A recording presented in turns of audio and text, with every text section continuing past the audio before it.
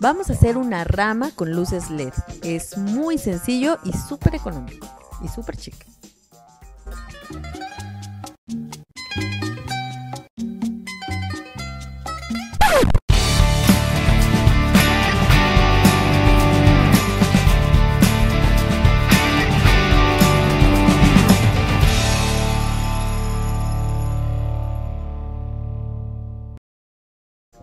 Y para esto necesitamos una rama de naturaleza muerta o ramita de árbol, cinta floral café, un poco de cinta de aislar negra con la que se hacen las reparaciones eléctricas, tijeras muy filosas, un poco de alambre delgado de cobre o hilo de cobre, también así se llama, y una serie de luces LED.